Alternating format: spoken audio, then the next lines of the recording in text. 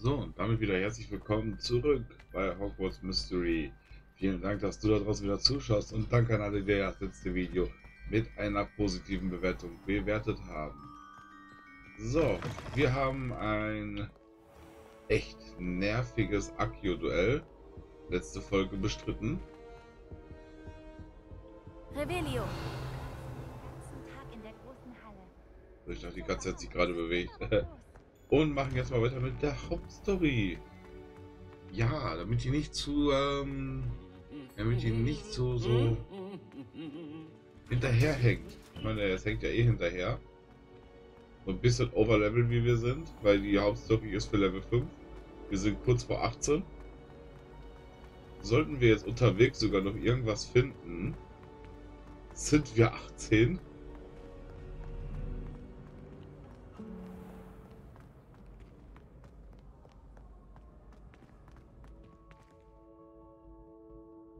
Kommen wir auf.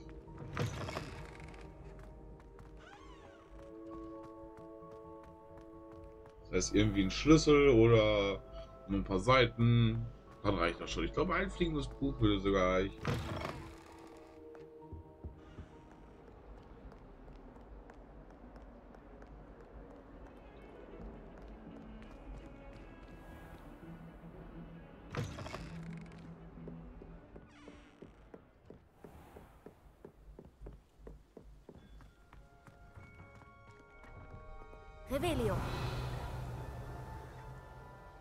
Schade, nichts. Nein. Das ist immer noch das Klo. Wir müssen Alohomora lernen. Das ist krass hart wichtig. Oder wir müssen endlich lernen, was es damit auf sich hat. Hier.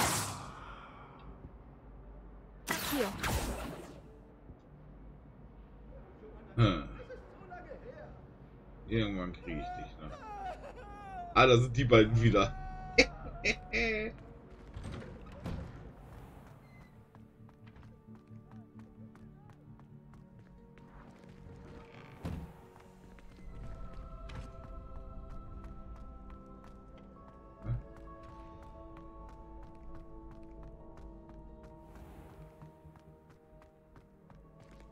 Sehr dezent versteckt. Scrope weiß von dem Buch, das sie gefunden haben. Fehlt etwas daraus? Scrope glaubt, dass wir nicht in der Öffentlichkeit darüber sprechen sollten. Scrope hat hinter der Brücke beim Steinkreis eine weitere Notiz hinterlassen. Okay. Scrope? Wer ist Scrope? Liest sich wie ein Hauself.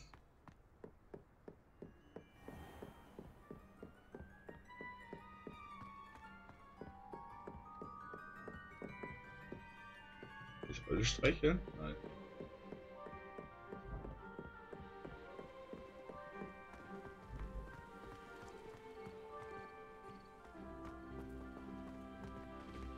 Aha. Levioso. Accio. Levioso. Incendio.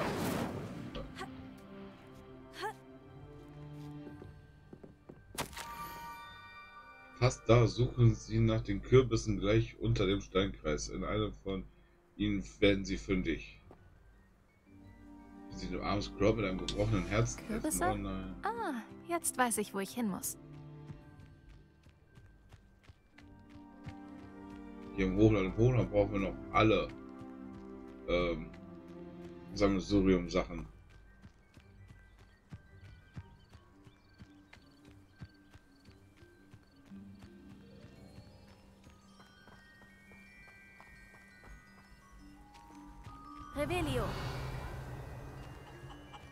Nein, aber da ist was. Er hat sich natürlich den Verschimmelst überhaupt gesucht, ne? Die junge Schlange muss inzwischen unglaublich neugierig sein. Trifft Scope am Rande des Wassers bei den beschädigten Stegen. Runter zum Wasser. Hm. Ich hoffe nur, das ist kein Trick. Ja.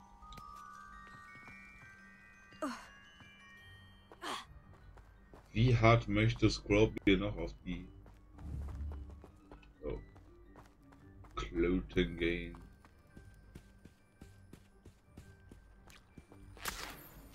Oh, gut Egelsaft. Hm.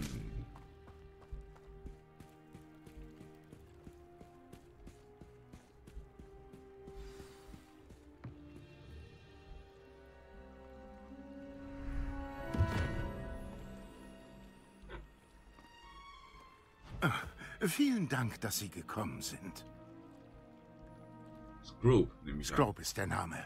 Scrope dient dem Schulleiter. Er dient seit Jahren der Familie Black. Verzeihen Sie die vielen Notizen. Scrope wollte sichergehen, dass Sie nicht verfolgt werden. Was hat es damit auf sich?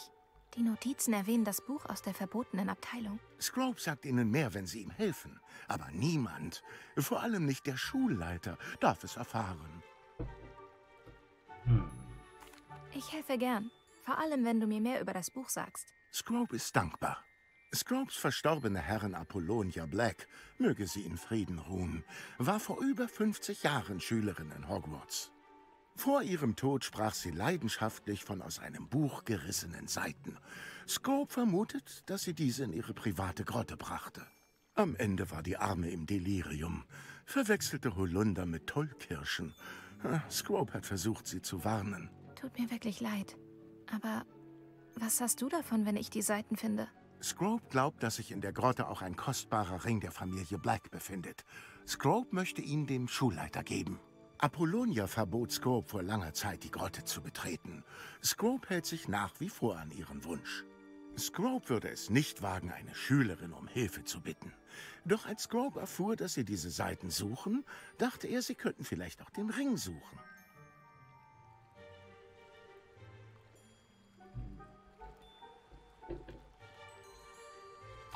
Das hilft uns wohl beiden. Ich mache es. Scrope ist erleichtert. Scrope ich wisse, hatte was mit gehofft, dass der ist. Slytherin-Neuzugang helfen würde. Bringen Sie diesen Toast zur Grotte unten an der Küste und stellen Sie ihn dort aufs Podest. Viel Glück! Scrope Viel Mhm. Glück bei der Suche nach Ihren Seiten. Das könnte meine Klassenquest sein, also Slytherin Quest. Soll ja jedes Haus so eine haben.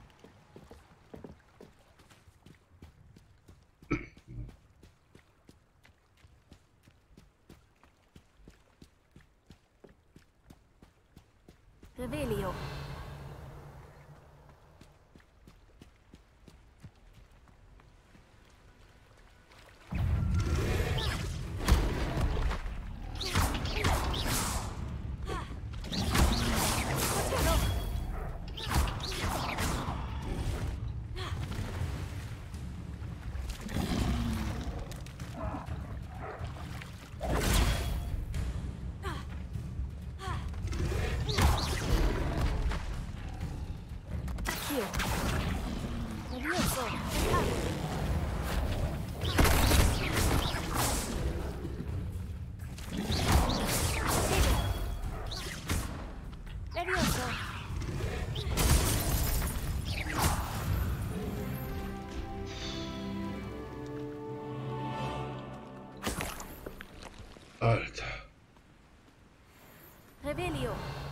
Okay, das Ding war ein bisschen größer.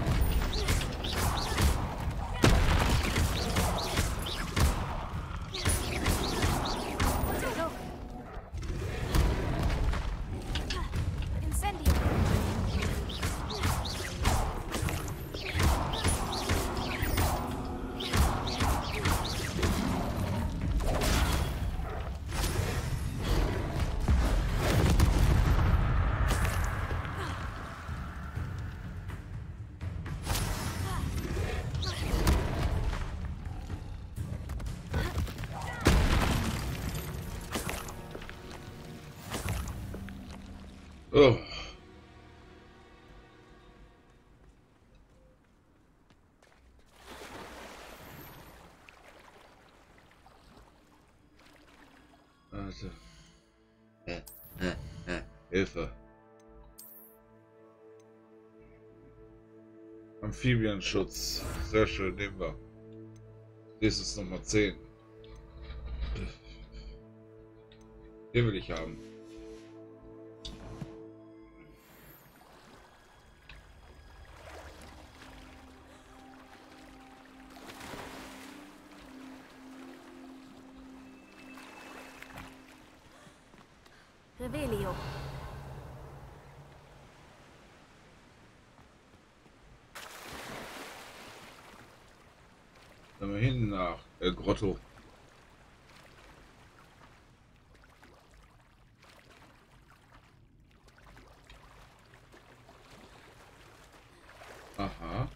Soll ich mit einem Stück Toast?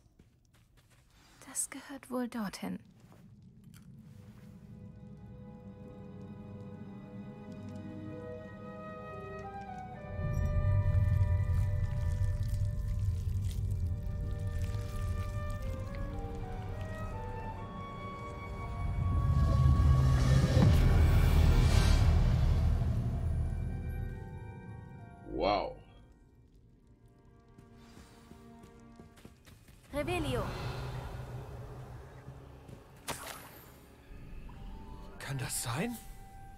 Besuch?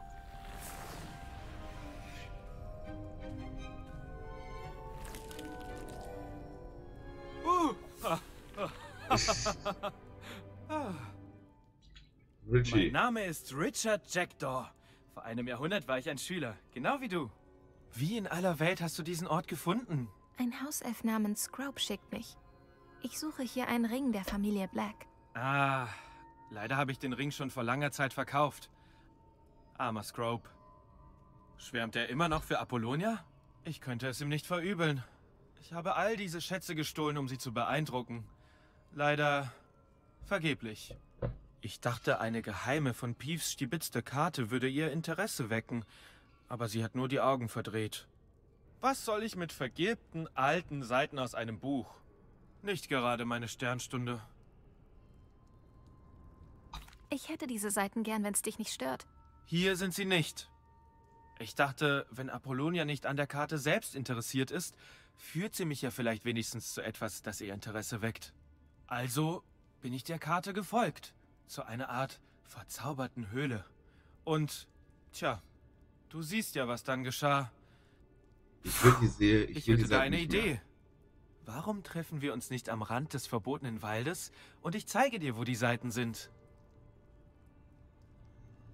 Wenn das die einzige Möglichkeit ist, die Seiten zu bekommen, treffen wir uns im Wald. Die Seiten sind bestimmt immer noch in meiner Weste. Wenn dir der Anblick meines, nun, enthaupteten Gerippes nichts ausmacht, gehören sie dir. Rudi. Mitnehmen?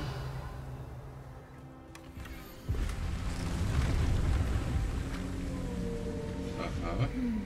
Eine Karte scheint nicht zu den fehlenden Seiten zu gehören, aber ich sollte sie mitnehmen.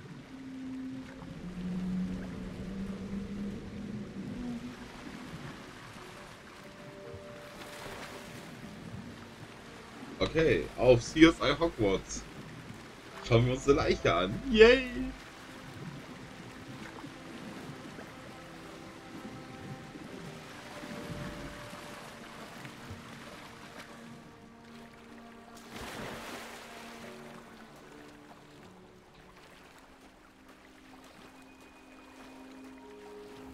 Sind noch nicht zurückgespawnt, oder?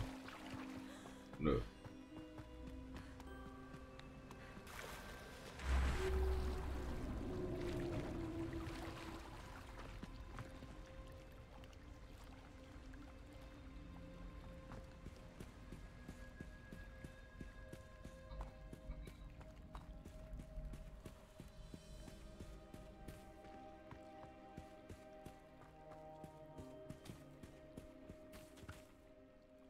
Hallo Scrope.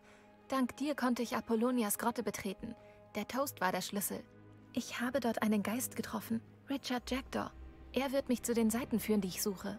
Tja, der Junge war nie gut genug für Apollonia. Äh, was ist mit dem Ring der Familie Black? Leider hat Jackdaw ihn schon vor langer Zeit verkauft. Wie schade. Nun braucht Scope etwas anderes, um den Schulleiter zu beeindrucken. Scrope tröstet sich damit, dass zumindest die junge Slytherin gefunden hat, was sie brauchte. Das habe ich. Danke, Scrope. Du machst den Hauselfen alle Ehre. Ja, tschüss.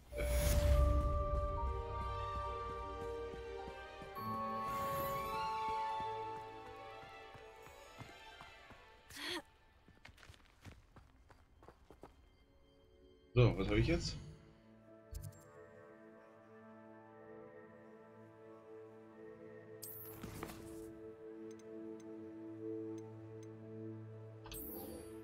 Auf der Karte ist sind ein Wald, eine Brücke sowie Kerzen abgebildet. Ich habe sie vorsichtshalber in meine Tasche gesteckt.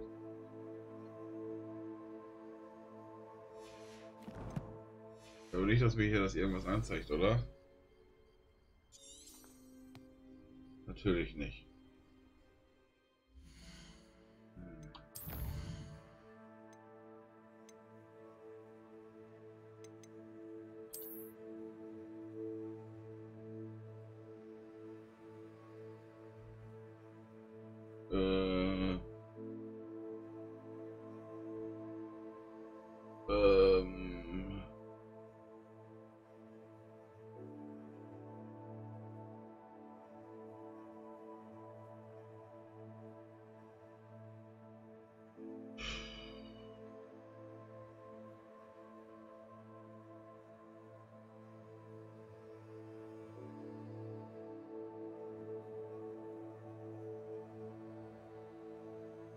Ja, Wald, Torbogen und eine Brücke.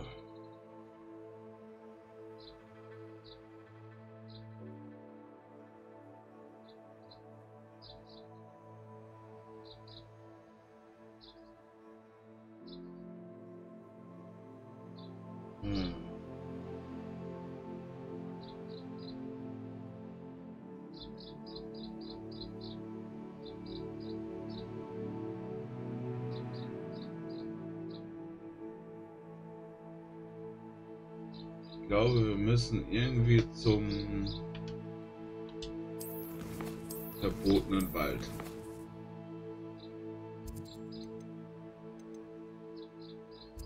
Wo die Hauptstory weitergeht.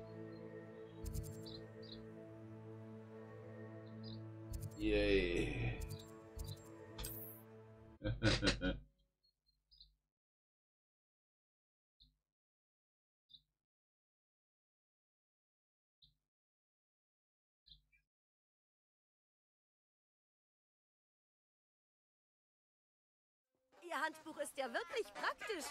Ich freue mich, darin vorzukommen. Hm. Warte. Warte mal, hier ist doch so eine. Der zeigt ja Lumos an. Hier ist doch so eine Steinbrücke, ne? Lumos.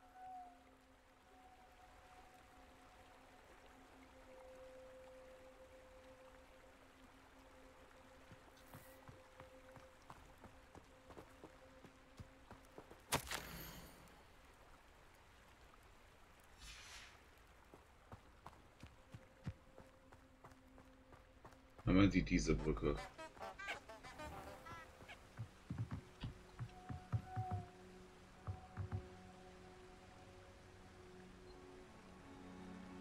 Hm. Aber Ich habe mir einen Screenshot von dem Ding gemacht.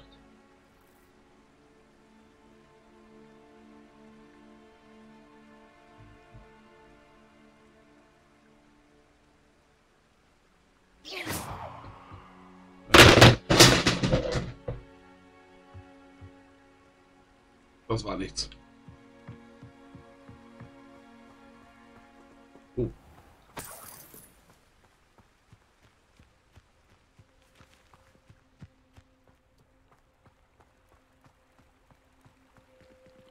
Lumos. Hm. Will jetzt irgendwie warten?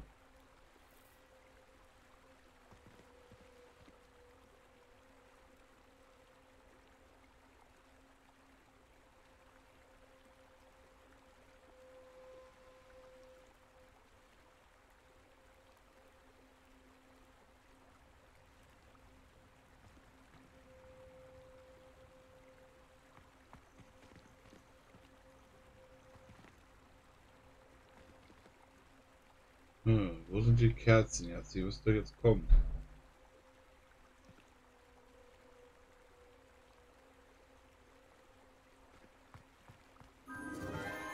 Oh. Verzauberte Kerzen. Wohin mögen die führen? Äh, hinterher würde ich sagen.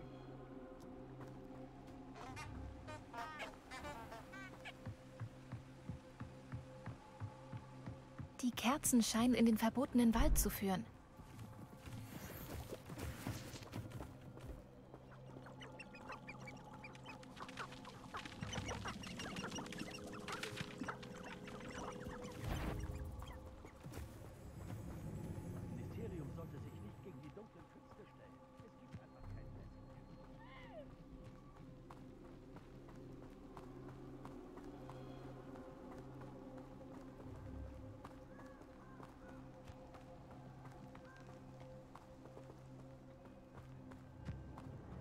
Muss in der Nähe sein. Ein Picknick im verbotenen Wald? Hm, die Schatzsuche liegt mir.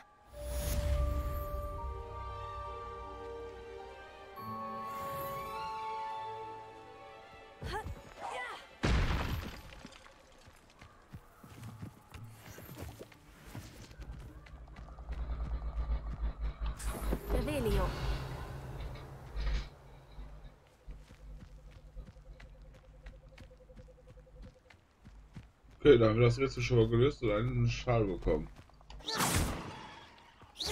Wenigstens ein Schal-Skin.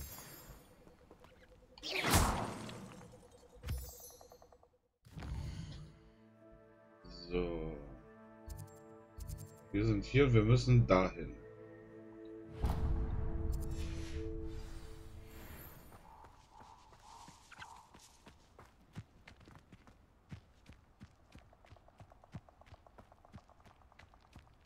Zweifellos schon lange verlassen. Revelio. Oh, hier geht richtig einer gerade.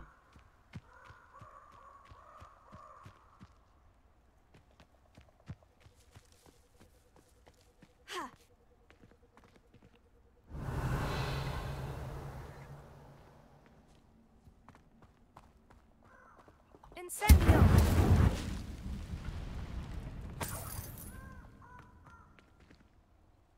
Levioso. Incendio. Accio.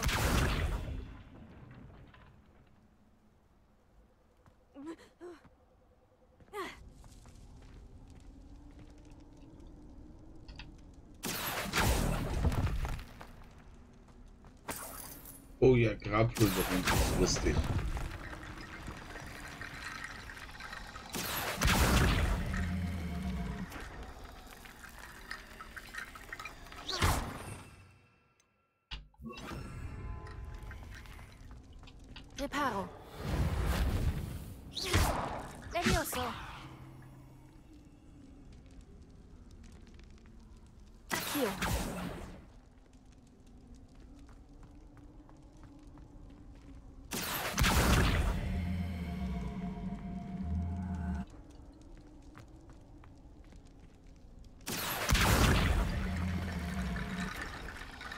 Ja, Knochenjockel.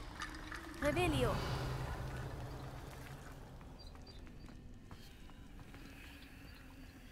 Accio.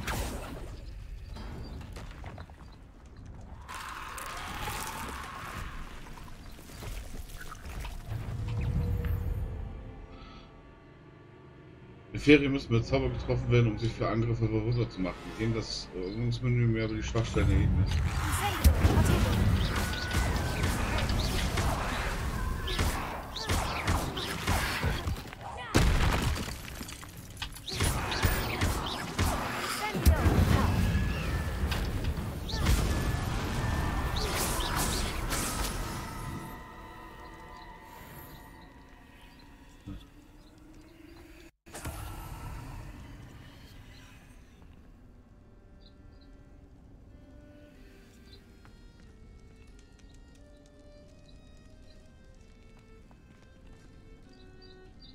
Geh wieder raus.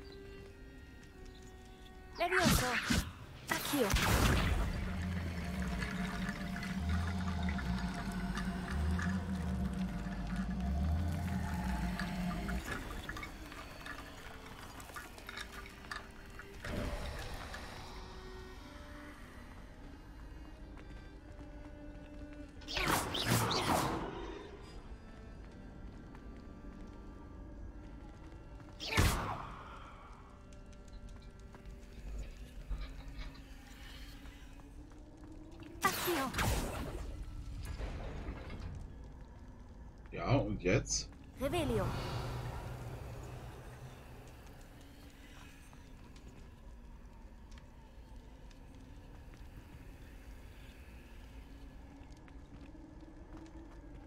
Ah, gut.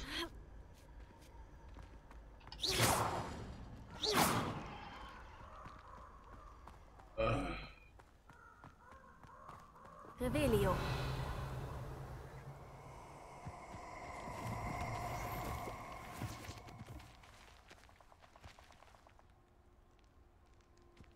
Du wirst dein Kommen bereuen.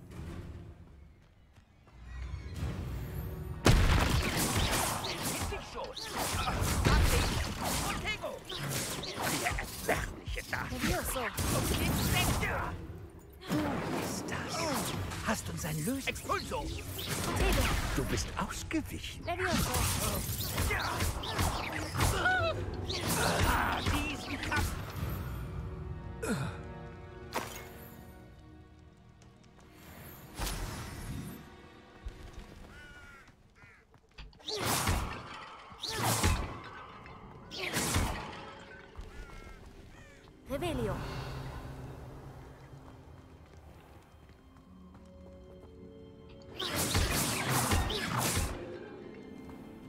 okay.